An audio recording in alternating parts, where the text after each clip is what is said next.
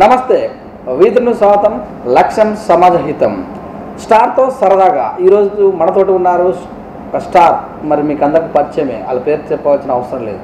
కానీ మరి ఈ మధ్యకాలంలో టీజర్ రిలీజ్ చేసి ఊరంతా అనుకుంటున్నారు అనే సినిమా మరి రిలీజ్కు దగ్గరలో ఉంది. మరి ఆ హీరో నవీన్ విజయకృష్ణ తన యొక్క మొదటి సినిమా అయినా ఇష్టం నువ్వు. తర్వాత నర్సింగ్ హోమ్ ద్వారా తెలుగు ప్రేక్షకులందరూ కూడా పరిచయం అయ్యారు మరి ఈసారి ఖచ్చితంగా బ్రేకింగ్ వస్తుంది. ఆంధ్ర వాళ్ళ మరి తెలంగాణ వాళ్ళ అందరి యొక్క ఆదర అభిమానులు పొందుతారని మనతోటి చిట్ చాట్ చేయడానికి ఉన్నారు వారిని అడిగి మరికొన్ని విషయాలు తెలుసుకున్నాం నమస్తే సార్. నమస్తే. ఎలా ఉన్నారు? బాగున్నానండి. Very have all the best. Thank you.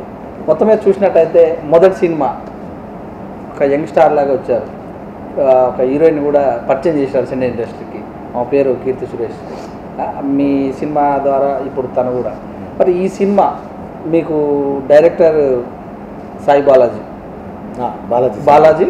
సనాల. Sarnala మరి డైరెక్టర్ సన ఎలా మీకు ఈ సినిమాలో ఏ రకంగా మీ క్యారెక్టర్ మలిచారు?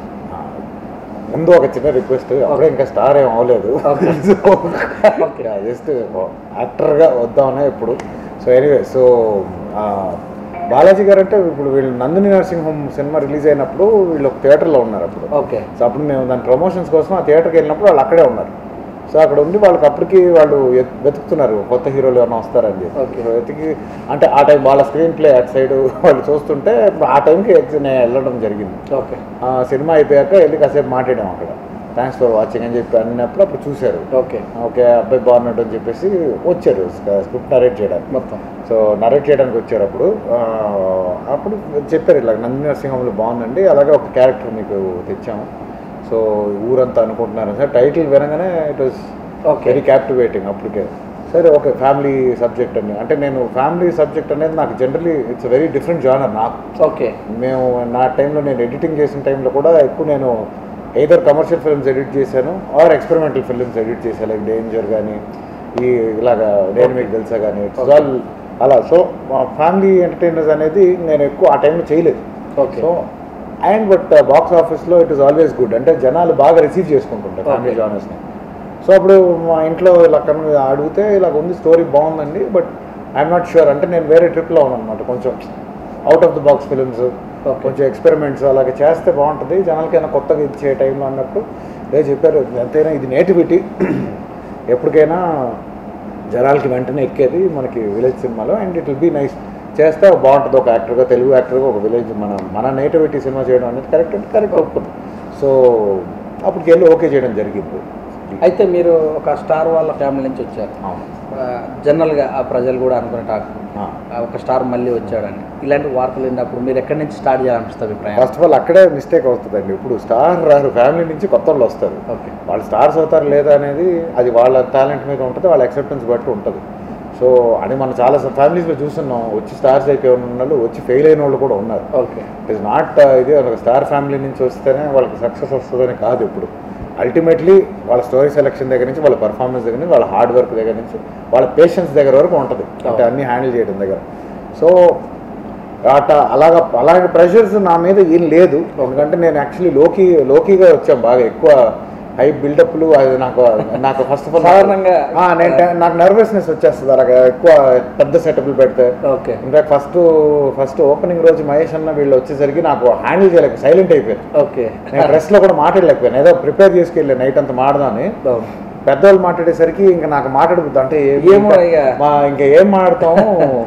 అది చెప్పేసి ఇంకా నేను సైలెంట్ అయిపోయింది డాడీకి చెప్పేది అమ్మ నా వల్ల మాట్లాడలేదు నాకు టెన్షన్ వచ్చేస్తుంది. ఓకే. సో స్టార్ వచ్చారని ఎప్పుడేం రాలేదు. ఇన్ఫాక్ట్ క్రిటిసిజం ఎక్కువ వస్తుంది. మనం ఎప్పుడు ఎప్పుడు అలా ఇప్పుడు పబ్లిసైజ్ చేసుకుంటే మనం ఈ స్టార్ ఆ స్టార్ స్టార్టింగ్లోనే చేస్తే అది కామెడీ అవుతుంది. హండ్రెడ్ పర్సెంట్ అవుతుంది. అండ్ బయట ఎవరన్నా అలా చేసినా మనకే మనమే క్రిటిసైజ్ చేస్తాం. ఇప్పుడు. ఎందుకు అలాగా? అంటే ఒకళ్ళు ఎప్పుడు ఫస్ట్ జీరో నుంచి రావాలని నమ్ముతాను నేను. ఇంట్లో నేర్పించింది అది. నువ్వు ఫస్టే నువ్వు తోపు అని అనుకోకూడదని చెప్తారు ఎప్పుడు. ఓకే ఇప్పుడు. ఎగ్జాక్ట్ మొత్తం మొత్తం మీద మీ అదే మీరు ఉన్నటువంటి ప్లేస్ మొత్తం కూడా సినీ రంగానికి దగ్గర ఉన్నటువంటి Yes. మీరు పెరిగినటువంటి వాతావరణం కూడా అదే. ఇది మొదటి నుంచి మీకు ఎలా అనిపించేది? నాకంటే లేదండి నేను చెన్నైలో పుట్టి పెరిగాను కదా. సో కంప్లీట్లీ అప్పుడు నాకు సినిమా సైడ్ ఎక్కువ ఇన్వాల్వ్ చేయలేదు.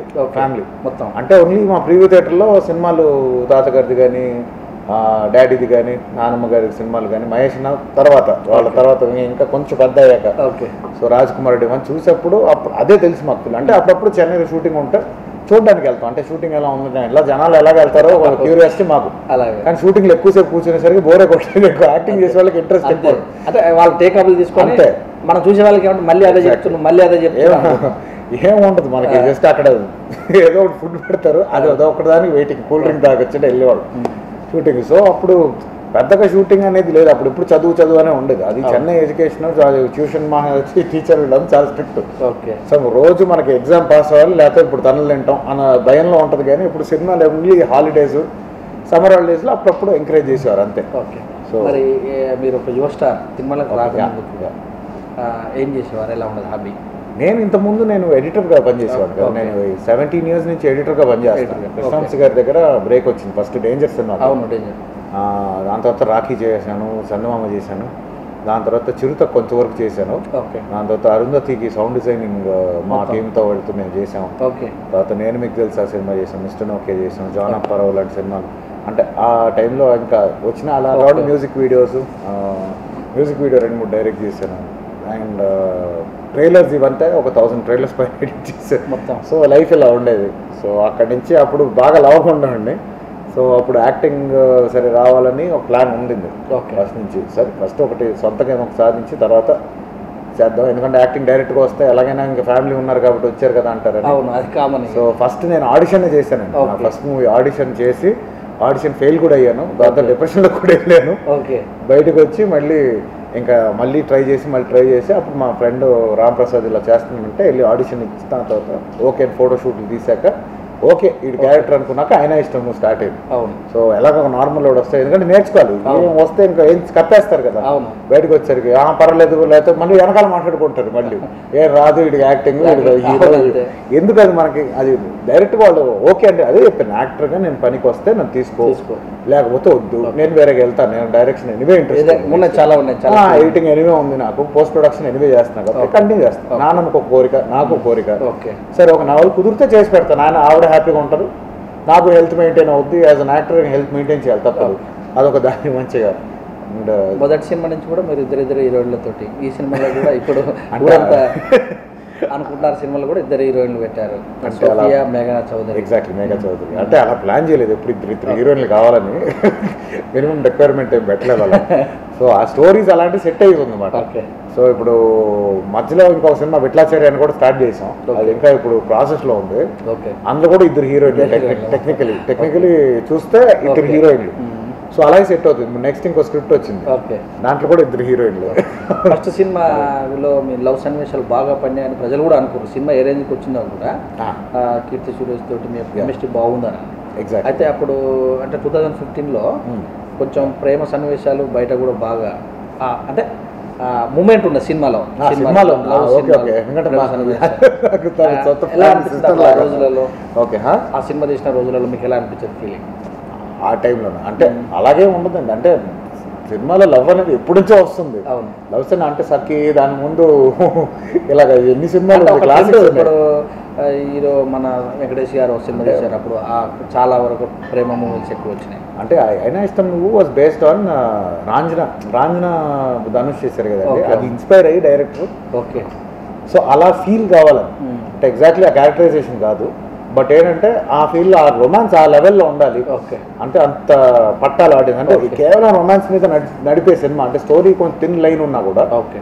ఒక రొమాన్స్ అంత లెవెల్ తీసుకెళ్తా మ్యూజిక్ మెయిన్గా. టచ్ మ్యూజిక్ దానికి.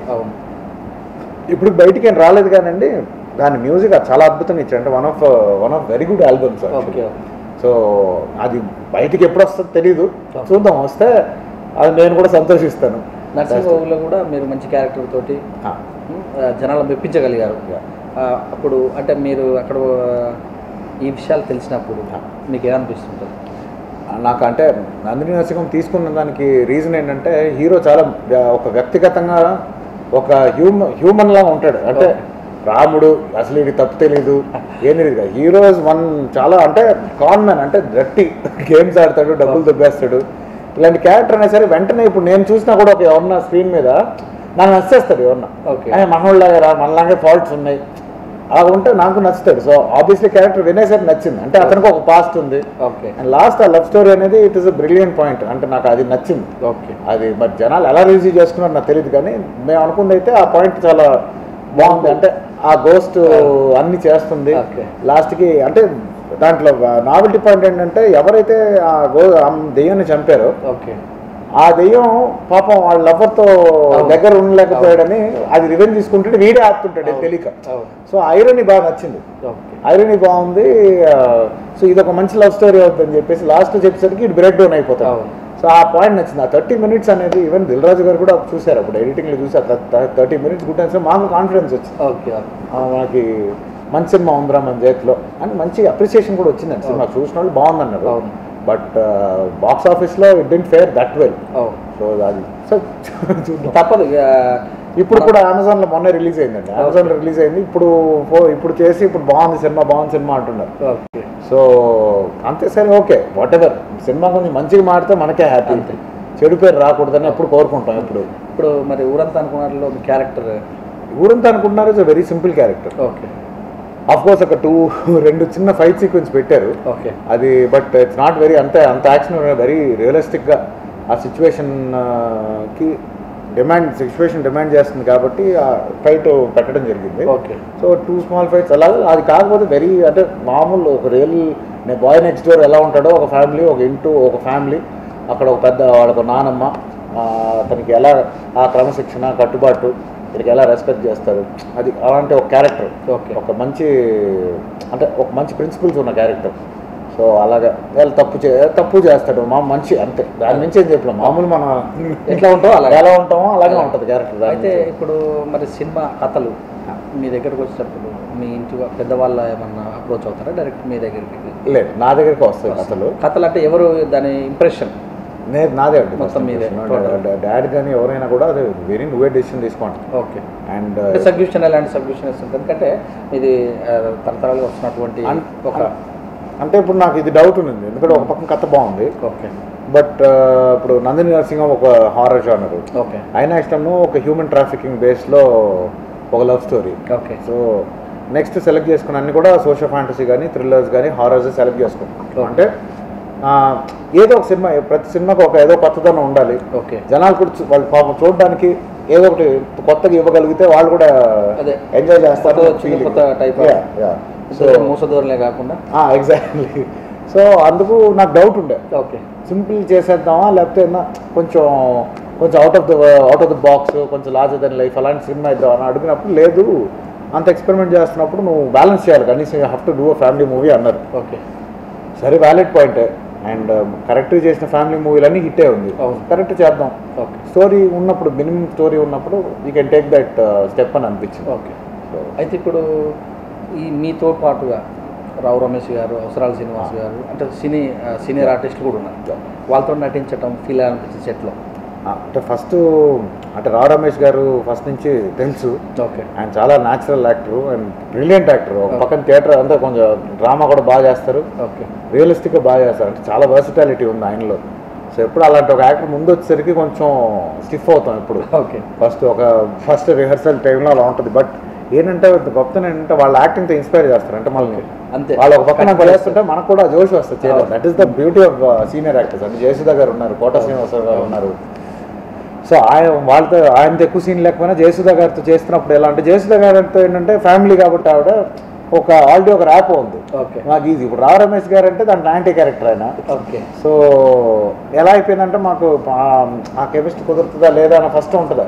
బట్ వాళ్ళు గొప్పతనం ఏంటంటే రాగానే చాలా బాగా మాడతారు. వచ్చేసరికి కంఫర్టబుల్ చేస్తారు వాళ్ళు ఎక్స్పీరియన్స్ కాబట్టి ఓకే అది మా మామూలుగా మాట్లాడి కొంచెంసేపట్లో నవ్వుతూ రెండు సార్లు నవ్విస్తారు ఏంటంటే మనకి ఒక కంఫర్ట్ జోన్ వచ్చేస్తుంది. ఓకే. సో దిగేసరికి మనకు ఒక కంఫర్ట్ వస్తుంది. అండ్ ఎక్స్పీరియన్స్తో పాటు అది కూడా అలవాటు అవుతుందని నా ఫీలింగ్ ఎన్ని పాటలు ఉన్నాయి ఈ సినిమాలో? దీంట్లో నాలుగు పాటలు ఉన్నాయి. నాలుగు పాటలు. నాలుగు పాటలు ఉన్నాయి. అంటే మోస్ట్లీ మాంటాజ్ సాంగ్స్ ఓకే. ఒకే ఒక పప్ సాంగ్ లాగా ఒకటి ఉంది. ఓకే. మిగతాన్ని చాలా వరకు montage songs okay. Music Radhakrishna. Radhakrishna. ఎలాగా? ఎప్పుడు చందమామ నుంచి పరిచయం నాకు. రాధాకృష్ణ. అతని మెలోడీలో ఆయన్ని అసలు క్వశ్చన్ చేయలేము. It's good very good and ఈ ఇలాంటి సబ్జెక్ట్కి కరెక్ట్గా అలాంటి మ్యూజిక్ పడితే బాగుంటుందని టీం అనుకున్నారు. అలాగే మనం చూసాక సాంగ్స్ కూడా బాగుందండి డీసెంట్ సాంగ్స్ ఇప్పుడు నిర్మాతలు శ్రీహరి మంగళపల్లి పద్మనాభారెడ్డి గారు ఎలా మరి ఖర్చు ఎలాగా వాళ్ళకి చాలా అంటే ఇబ్బందులు రాలేదని చెప్పను. ఓకే. చాలా వరకు వచ్చినాయి. అంటే వాళ్ళు కష్టపడ్డారు బాగా అనుకున్న బడ్జెట్ కొంచెం ఎక్కువైంది. ఓకే. సో ఈ ప్లానింగ్ అని చేసేటప్పుడు ఒక పార్ట్నర్ ప్రాబ్లంలో ఇదంతా ఉంటుంది. ఓకే. బట్ ఇదంతా ఎవరికి తెలియక వాళ్ళు నీట్గా వాళ్ళే హ్యాండిల్ చేసుకుంటూ మా మీద ప్రెషర్ పెట్టకుండా అంటే గ్యాప్ వచ్చింది మధ్యలో కొంచెం గ్యాప్ వచ్చింది. వచ్చాక కూడా వాళ్ళు బాగా నా వాళ్ళు ఏ ఇబ్బంది లేకుండా వాళ్ళు చాలా బాగా తీసుకెళ్ళారు సినిమాని. అద్భుతంగా కంప్లీట్ చేయాలి ఎందుకంటే కొత్త ప్రొడ్యూసర్స్కి ఇలాంటి స్క్రిప్ట్ చేయడం చాలా కష్టం అండి. ఎందుకంటే. అంతమంది యాక్టర్స్ ఇప్పుడు శతమాన భవతి ఇలాంటి సినిమా అంటే దిల్ రాజు గారు ఆయన ఎక్స్పీరియన్స్ ఆయన బడ్జెట్స్ అవి చాలా అవుతుంది అందులో థర్టీ డేస్ వాళ్ళు వెళ్ళిపోతారు. క్రూ అంతా వెళ్ళిపోగలుగుతారు. మాకు వాళ్ళ అవ్వదు. సో ఒక పెద్ద యాక్టర్ రావాలన్నా డేట్స్ ఇంకొక ఇప్పుడు జయసుధ గారు మణరత్నం గారు సినిమా చేశారు. ట్వంటీ డేస్ లేరు అవును. మా హీరోయిన్ ఏమో మధ్యలో తమిళ్ వర్మకి వెళ్ళింది. వర్మకి వెళ్ళింది. పాపం సారీ అన్ఫార్చునేట్లీ అది డెంట్ టేక్ ఆఫ్ బట్ తను ఒక వన్ మంత్ పోయింది. సో ఏంటంటే ఇలాగ మాకు డిలేలు డిలేలు డిలే వచ్చేసి టీము ఎంత ఎంత ఉన్నా కూడా ప్రెషర్కి వాళ్ళు లొంగిపోలేదండి. వాళ్ళు చాలా కష్టపడి ఫినిష్ చేశారు cinema. It's is a very good అంటే ప్రొడ్యూసర్గా ఒక సినిమా రిలీజ్ చేయడం అనేది ఎంతో ముఖ్యం. అలాగే కంప్లీట్ చేయడం చాలా గొప్ప. నేను చాలా సినిమాలు ఆగిపోతుంటాయి. ఆయన చేయలేదు. ఎన్నో పుడుతుంటాయి కానీ మొత్తం లాస్ట్. రాకుండా చాలా వచ్చినాయి. పాపం వాళ్ళు చాలా దాన్ని బాగా ఎదిరించి చాలా కష్టపడి ఫినిష్ చేశారు ఎలాగో. మరి హీరోయిన్ల కోఆపరేషన్ ఎలా ఉంది? కెమిస్ట్రీ ఎలా పండింది ఏ సీన్లు బాగా?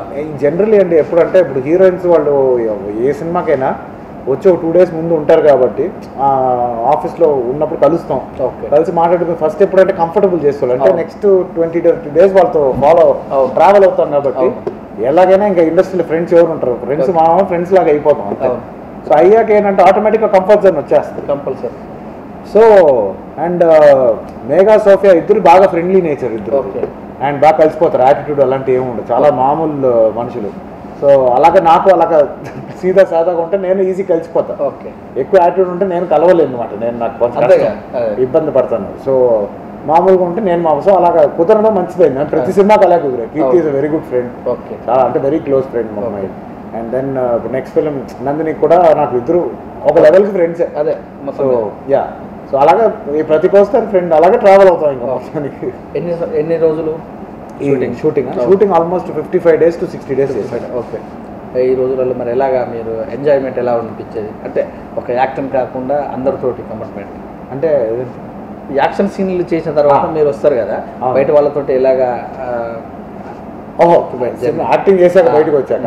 అంటే బయట ఏం లేదు, నాకు సెలెక్ట్ గ్రూప్ ఉన్నారు ఫ్రెండ్స్. సో వాళ్ళతో నేను ఆల్మోస్ట్ ఫిఫ్టీన్ ఇయర్స్గా ట్రావెల్ అవుతున్నాను. హైదరాబాద్కి వచ్చిన దగ్గర నుంచి షూటింగ్ అయిపోతే యాక్చువల్లీ ఎప్పుడు ఒక చోట ఎక్కడో ఒక డ్రైవింగ్ కానీ ఎక్కడికి వెళ్తాం కూర్చొని. టీ బాగా ఇష్టం మాకు తాగడానికి. ఓకే.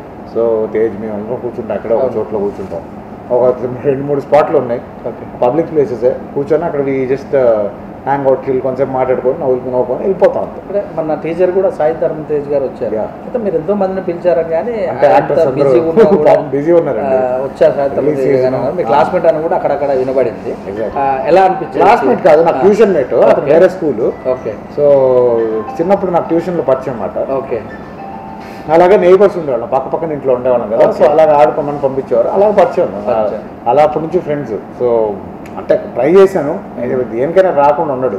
ఓకే. చిత్రలహరి ఫంక్షన్ బిజీగా ఉన్నాడు అన్నాడు. అంటే వన్ డే తోస్తారా ఎందుకంటే ఎవరు రావట్లా ఓకే. మినిమం ఇప్పుడు ఒక రిలీజ్ ఫంక్షన్ అంటే ఎవరన్నా ఒక సెలబ్రిటీ వస్తే దానికి ఒక ఇది. వస్తుంది.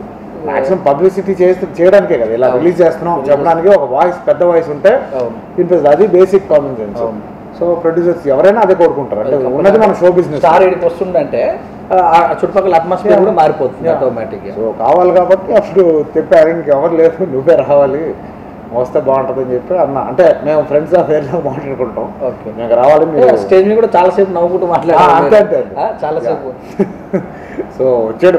వచ్చాడు అందుకే ఓపెన్ చెప్తా అంటే it's not an easy thing ఎంత ఫ్రెండ్ అన్నా కూడా రావడం అనేది సమ్టైమ్స్ ఈజీ కాదు. సో సొంత ప్రమోషన్స్ ఉంటాయి అంత ఈజీ కాదు. అంత అంతలో వాడు టైం చేసుకొని వచ్చాడు. సండే అయినా కూడా రెస్ట్ రెస్ట్ తీసుకోవాలి పాపం అంత ప్రమోషన్ చేసి ఆయన కూడా మార్నింగ్ లేచి వచ్చాడు. చెప్పా కాబట్టి ఈవినింగ్ కూడా పెట్టుకుందాం అన్న లేదు మార్నింగ్ వచ్చేస్తాను వచ్చాడు. ఇట్స్ గ్రేట్ థింగ్ అసలు హ్యూమన్ థింగ్ నాకు ఒకటి నాకనే కాదండి. ఎవరికైనా చేస్తాడు అలాగే. మామూలుగా మీరు ఎవరో సినిమాలు చూస్తుంటారు? నేను? నేను జనరల్లీ సినిమాలు యాక్చువల్లీ కొంచెం తక్కువే. ఓకే. నేను అంటే ఇప్పుడు కొత్తగా ఏదైనా పెద్దగా హిట్ అవుతే వెళ్ళి వెంటనే చూసేస్తారు. మంచిగా ఇది ఉంటాయి. ఒక్కొక్కసారి ఫ్రీగా ఉన్నప్పుడు అది అమెజాన్లో టీవీ సిరీస్ ఎక్కువ చూస్తుంటాను మీకు రోల్ మోడల్ ఈ మోడల్ చేయాలని అనిపిస్తే ఏమైనా ఉందా? ఏదైనా అలాగా ఏ క్యారెక్టర్ బాగా పండించాలి? ఇది చేసి ఇలా పేరు వచ్చే మోడల్ అని ఇలా అంటే అలాగే ఫిక్స్ అల్లూరి సీతారామన్ అనగానే మీ తాతగారు అది అంటే అలాంటి మహేష్. చెందుద్దేమో కానీ నాకు అది ఆయన చేస్తే ఒక కరిష్మా ఉంటుంది దాంట్లో. నేనేమంటా ఆ సీన్ ఆ type లో, ఆ. అంటే బాగా ఇప్పుడు ఒక్కడంటే మహేష్ బాబు గారు అన్నట్టు కొన్ని చాలా ఉన్నాయి అలా అంటారా? అంటే అలా ఇప్పుడు మహేష్ అన్న కూడా ఎక్స్పెక్ట్ చేయరు. ఇప్పుడు పోకిర్ లాగా ఒకలా బిజినెస్ మ్యాన్ లాగా. శ్రీమంతుడు మురారి.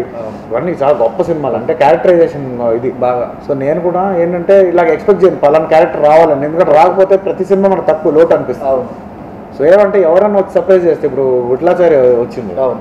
విట్లాచార్యలో ఇస్ వెరీ చాలా డిఫరెంట్ క్యారెక్టర్ అది ఇప్పుడు నాకు సర్ప్రైజ్ వచ్చింది. ఓకే అవి ఇప్పుడు ఒక మోటివేషన్ వస్తుంది. రోజు సెట్కి వెళ్ళేసరికి ఈ క్యారెక్టర్ని పండించాలి. ఛాలెంజ్ ఉంది క్యారెక్టర్ పండిస్తే మనకు మంచి పేరు వస్తుంది రేపు. జనాల్లో కూడా వాళ్ళ అప్రిసియేషన్ వస్తుంది. అప్రిషియేషన్ అప్రిసియేషన్ వస్తే మనకి చాలా ఇంపార్టెంట్ మనకి ఇష్టం. మనకి దాంతో అదే మనకి కాన్ఫిడెన్స్ ఇస్తుంది. సో అలాగా I wait for directors to surprise me చెప్పండి. మొత్తం మీద చూసినట్టయితే మరి మీ సినిమా రిలీజ్ రోజు ఇప్పటికి రెండు అయిపోయినాయి మూడోది ఇప్పుడు ఆ- రోజు ఎవరితో కలిసి చూస్తుంటారు మీరు ఎక్కువ? ఫ్యామిలీ వాళ్ళతో? నేనా? నేను మా రిలీజ్ అయినా పొద్దున మా ఫ్యామిలీ ఇక్కడ చూస్తారు ఇంట్లో చూస్తారు. ఏమనిపిస్తుంది మీకు? వాళ్ళ పక్కన కూర్చొని చూపెట్టినప్పుడు. సెలబ్రేషన్ చేస్తుంటారు? సైలెంట్గా ఉంటాను నేనేం చేయను. చూస్తాను వాళ్ళే వాళ్ళు చూస్తారు చెప్తారు. Hmm. మధ్యలో ఎందుకు డిస్టర్బెన్స్. జనరలీ అయితే నేనైతే ఫ్యామిలీతో చూడడం నాకు టెన్షన్ సో వాళ్ళు చూస్తారు నేను యాక్చువల్లీ రూమ్లోనే ఉంటాను. ఓకే అయిపోయాక వచ్చి చెప్తారు బాగుందా లేదా అని చెప్పి అంటారు. అంటే ఇప్పటివరకు ఒక సినిమా రిలీజ్ అయింది నందిని. సో అవును. నందిని కూడా అవును. నేను మార్నింగ్ థియేటర్కి వెళ్ళిపోయాను. వెళ్ళిపోవడం జరిగింది. అక్కడ ఫస్ట్ డే ఫస్ట్ షో చూడడానికి. ఓకే. ఇక్కడ చూసి తర్వాత ప్రసాద్ ల్యాబ్స్లో చూసి బాగుందని చెప్పి అన్నారు. నాన్న కూడా బాగా చేసావు పర్ఫార్మెన్స్ బాగుంది సినిమా అని అన్నారు. అంతే దాని నుంచి ఏం లేదు. ఒకవేళ మీరు రోల్ మోడల్స్ మీకంటూ వస్తే మీ యొక్క ఫ్యూచర్ ఎలా ఉండడం అవకాశం ఉంటుంది అంటే రోల్ మోడల్స్ అంటే అంటే మీరు ఈ మోడల్ తీసుకుని ఫర్ ఎగ్జాంపుల్ దానవీర సూరకర్ణ. ఇలాంటి సినిమాలు తీయాలంటే. మీరు అలాగే వెళ్ళిపోయే అవకాశం ఉంటుంది? అలాంటి సన్నివేశాలు చేసే అవకాశం ఉంటుంది. హండ్రెడ్ పర్సెంట్ అండి. అంటే యాక్టర్గా అంతు లేదు. ఎంత దానికి ఒక ఎండ్ లేదు. ఎక్కడికైనా వెళ్తుంది. ఎంత దూరం వెళ్ళచ్చు? యాక్టర్కి ఏమైనా పోషించచ్చు. అదే ఛాలెంజ్ సో డైరెక్టర్ విజన్ బట్టి యాక్టర్లు కూడా ఉంటారు. సో ఎంత గొప్ప డైరెక్టర్లు ఉన్నారో అంతే గొప్ప యాక్టర్స్ కూడా పైకి వస్తారు నమ్మకం నాకు. మరి ప్రాక్టీస్ ఏమైనా చేస్తుంటారా మీరు? అంటే ప్రాక్టీస్ ఎవ్రీడే ప్రాక్టీస్. ఏదైనా ప్రాక్టీస్ ఏదైనా ఒక మంచి యాక్టింగ్ ఒక సీన్ చూసినా ప్రతి హీరో దగ్గర నుంచి నేర్చుకుంటాం. ఓకే. అలాగని ఒక పర్టికులర్ ఫేవరెట్ హీరో అంటూ ఏం లేదు. అంటే కమల్ హాసన్ గారు ఇస్ మై అది చిన్నప్పటి నుంచి ఫేవరెట్ ఓకే. అలాగా అలాగా చిన్నప్పుడు డాడీ సినిమాలు చూస్తాను మహేష్ అన్న ఇస్ మన్ ఫేవరెట్. అలాగా అందరు సినిమాలు చూస్తానండి. తేజ్ సినిమాలు ఇష్టం ఎన్టీఆర్ సినిమాలు ఇష్టం పవన్ కళ్యాణ్ గారి సినిమాలు చూస్తా. మొత్తం. ప్రతి యాక్టర్లో ఒక ప్రత్యేకత ఉంటుంది. అవును. సో అది మనం దాంట్లో రిసీవ్ చేసుకోవాలి. అంటే we learn from our elders కదా. అంతే చిరంజీవి గారు వాళ్ళ డాన్స్ ఆయన గ్రేస్ ఇవి. అలాగే ప్రభాస్కి ఏంటంటే ఆ పర్సనాలిటీ ఇది ఆ డైలాగ్ డెలివరీ యాటిట్యూడ్ బాగుంటుంది అతని స్క్రీన్. మీద. ప్రెసెన్స్ చాలా బాగుంటుంది. అలాగా పవన్ కళ్యాణ్ లాగా అందరివి అందరూ స్టార్స్ అయ్యింది ఒక కారణానికి కదండి. వాళ్ళకి ఒక స్పెషాలిటీ ఉంటేనే అవుతారండి. స్టార్ లేకపోతే అవ్వరు కదండి.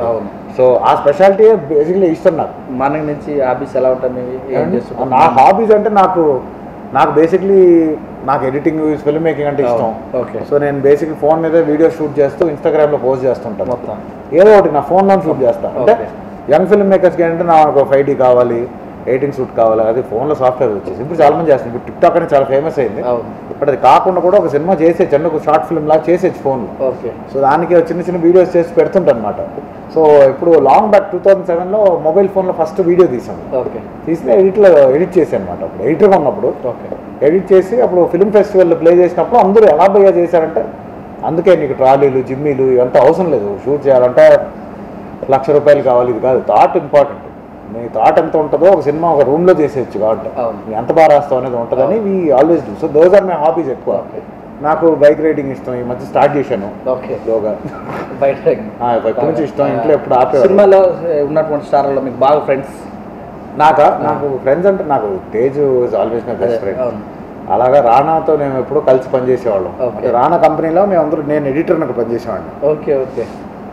Long back spirit అని పెట్టాడు. దాంట్లో ఎడిటర్గా చేసేవాడు సో అలాగా పరిచయం. దాని ముందు షార్ట్ ఫిల్మ్ చేసాం ఓకే. రానా నేను తర్వాత రమేష్ అని మన రాఘవ్ గారు ఉన్నారు కదా. వెంకటేష్ గారి వారు పర్సనల్ వాళ్ళ అబ్బాయి మేము అందరూ ఫ్రెండ్స్ అప్పుడు సో అలా కలిసి ట్రావెల్ అయ్యేవాళ్ళం. అలా కామన్ ఫ్రెండ్స్ అంటే అందరూ అలా పరిచయం ఉంటుందండి. రామ్ చరణ్ నాకు చిన్నప్పటి నుంచి స్కూల్ అతని క్లాస్మేట్ ఓకే ఓకే. సో అలా శిరీష్ కొంచెం పరిచయం. అంటే బన్నీ అంటే మాకన్నా పెద్దోడు. ఓకే. సో మా బ్యాచ్ మేము ఉండేవాళ్ళం అప్పుడు ఎక్కువ. చెన్నైలో అందరూ చెన్నైలో ఇక్కడ హైదరాబాద్కి వచ్చేసరికి ఇంకెవరి దాంట్లో వాళ్ళు బిజీ అయిపోయారు. ఓకే. ఇంకా అలా అప్పుడప్పుడు కలుస్తాం. కలిసినప్పుడు మాట్లాడతాం అంతే. పాటలు ఏమైనా పాడే పాడతారా? నేను నాకు రాదు. సింగింగ్ రాదు. అలాంటిది. నేను పాడితే అసలు వెనకాల పది మంది ఉన్నారు. చంపేస్తాను నేను పాడితే.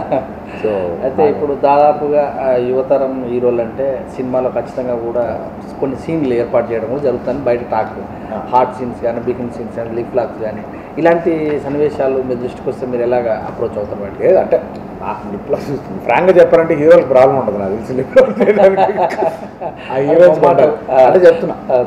అంటే ఇప్పుడు ఇట్స్ అ ట్రెండ్ అంతే. అంటే ఒక సినిమాలో బాగా మధ్యకాలంలో వచ్చిన సినిమాలో పేరు అవును అది వస్తుంది. ఇప్పుడు ఏంటంటే అంటే ఇవాళ బాలీవుడ్లో ఎప్పుడో స్టార్ట్ అయిపోయింది. ఓకే. హాలీవుడ్లో దానికన్నా ముందే స్టార్ట్ అయిపోయింది. అవును. సో ఏంటంటే ఒక- ప్రతి ఎవల్యూషన్ ఆడియన్స్ ఎలా ఉంటారో సినిమాలు అలాగే మారుతాయి. ఓకే. లారెక్స్ హండ్రెడ్ అనే సినిమా అనేది చాలా one of the biggest hits and ఆ సాంగ్ ఆ సాంగ్లో ఆ రొమాన్స్ అనేది ఇట్ ఈస్ వెరీ గుడ్ అంటే న్యాచురల్గా అంటే బయట ఇప్పటివరకు చూడండి సినిమా తెర మీద చూడండి మళ్ళీ చూస్తున్నాం అనేసరికి ఒక ఎక్సైట్మెంట్ వస్తుంది. Okay. And I don't know అంతవరకు అడల్ట్స్ అంతే ఎల్డర్స్ ఎంతవరకు తీసుకుంటారు అది అలాంటి సీన్స్ బట్ యంగ్స్టర్స్ డెఫినెట్లీ అలాంటి ఎంజాయ్ చేస్తున్నారు కాబట్టి ఇప్పుడు ప్రతి సినిమాలో అదొక ఎలిమెంట్ అయిపోయింది. అండ్ మన ఇండస్ట్రీ ఎప్పటి నుంచో అండి? ఫ్యాక్షనిజం ఉన్న టైంలో ప్రతి సినిమా ఫ్యాక్షనిజం అరుంధతి వచ్చిన టైంలో మళ్ళీ మొత్తం అదే ట్రెండ్ వచ్చింది. రంగస్థలం తర్వాత ఇప్పుడు మళ్ళీ వస్తాయి. విలేజ్ సినిమాలు వస్తాయి. శతమానం భౌతితో ఫ్యామిలీ సినిమాలు. సో మనకి ఇప్పుడు ఏంటంటే లిప్ లాక్ ఓకే అయిపోయింది కాబట్టి ప్రతి సినిమాలో. లిప్ లాక్ కావాలి. సో ఎంత ఫ్యామిలీ సినిమా అయినా కూడా ఒక ఒక చిన్నది ఒకటి పెడదాం. డైరెక్టర్ వద్దనుకున్నా కూడా కోరియోగ్రాఫర్ పెట్టేస్తారు సాంగ్ సో అలాగా మీరు ఇప్పుడు ఊరంతా. అనుకుంటున్నారు దాంట్లో బాగా పడినటువంటి సీన్స్ ఏమన్నా? అంటే అనుకున్న మీరు చేసినటువంటి సీన్లలో. నాకు అంటే పర్సనల్ ఫేవరెట్ ఏంటంటే అందరూ గ్రూప్ ఒకటి ఉందండి. అంటే సాంగ్లోనే ఒక మాంటాజ్లో ఫస్ట్ ఫస్ట్ పాలకొల్లో తీసినప్పుడు ఓకే.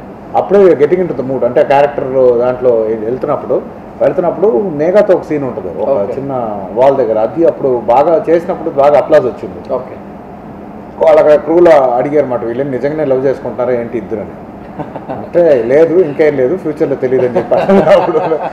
కానీ ఆ సీన్ వరకు చాలా బాగా పడింది. తను కూడా చాలా వెరీ గుడ్ యాక్ట్రెస్ తను కూడా. And she's done Bengali films already రెండు బెంగాలీ ఫిల్మ్స్ చేసింది. అలాగా she's she's been an anchor ఇంత ముందు ఆహా. అంటే ఇప్పుడు చిన్న ఫోర్టీన్ ఇయర్స్ నుంచి తనకి యాంకర్గా. ఓకే ఇలాగ she's been fifteen sixteen years నుంచి షీ వాజ్ మొత్తం. She was working as an actress so తనకి ఆ ఎక్స్పీరియన్స్ ఉంది. So at the same time అలాగ కోస్టార్ ఒకళ్ళు కోఆపరేట్ చేస్తుంటే యాక్టింగ్ బాగా చేస్తుంది మనం కూడా చేయాలని ఒక ఇప్పుడు మొత్తం ఫ్యామిలీ చుట్టూ తిరుగుతుందా? లవ్ లవ్ బర్డ్స్ లేదు లవ్ అని లేదు అదే ఎంటైరిటీలో ఒక యూనివర్సల్ ఫిల్మ్ తీయాలనే direct తీసినట్టున్నారు. Okay love stories love story ఉంది. అల్టిమేట్లీ లవ్ స్టోరీ ఫ్యామిలీ దగ్గర ఎండ్ అవ్వాలి. ఓకే అక్కడే కదా పెళ్ళి అవ్వాలి ఫ్యామిలీ దగ్గర.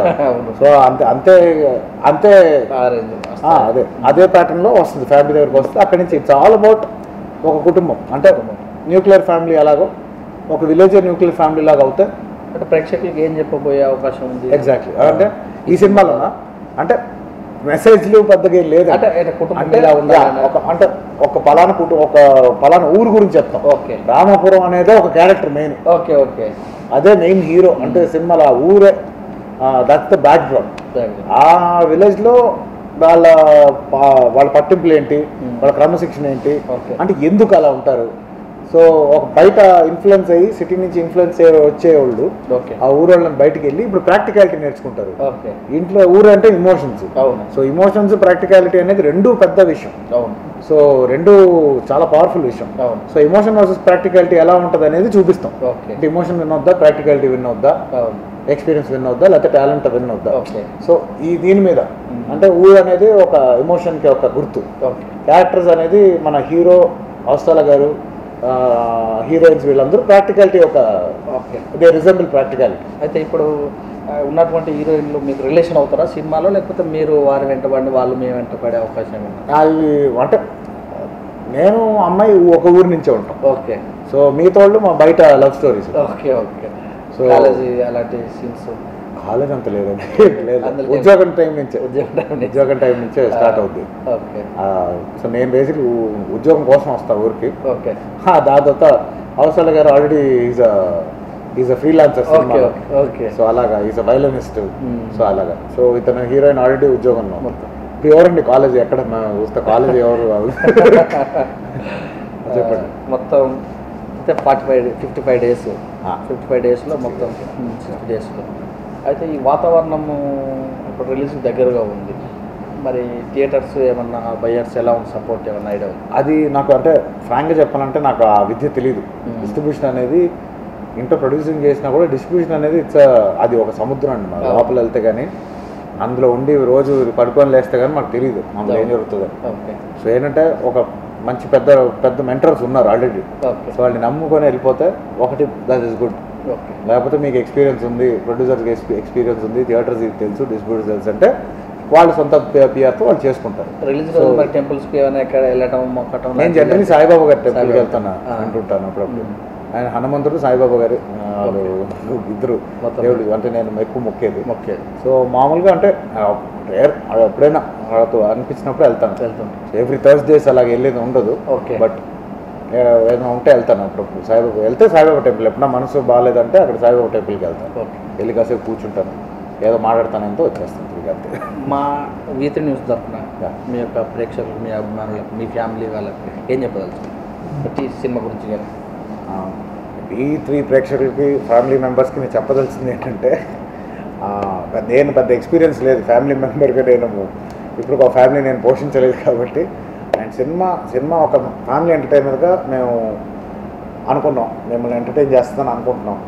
అది ఎంటర్టైన్ చేస్తే మాకు సంతోషం. అండ్ uh, మీరు సంతోషపడితే మేము సంతోషపడతాం. సో ఈ సమ్మర్లో వస్తుంది. సమ్మర్లో మంచి ఫ్యామిలీ సినిమాస్ వచ్చి హిట్ అయిన చరిత్ర ఉంది. సో హోప్ఫుల్లీ ఈ ఫిలిం మీరు చూసి ఆదరిస్తారని కోరుకుంటున్నాను.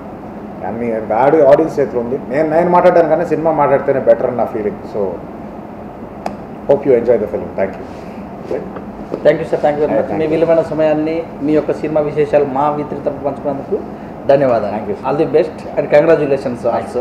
Okay ఇదండి మరి తన యొక్క సినిమా విశేషాలు మరి చిన్ననాటి నుంచి పడుతున్నటువంటి సంభాషణలు మరి ప్రజలలో ఉన్నటువంటి ఆదరణ ఏవైతే ఉందో వాటినంటి గురించి కూడా మనకు నవీన్ విజయ గారు హీరో గారు మనకు ఈ విధంగా తెలియడం జరిగింది. చూస్తున్న విధంగా కెమెరామెన్ నరేష్తో మీ సురేష్ దాన్ని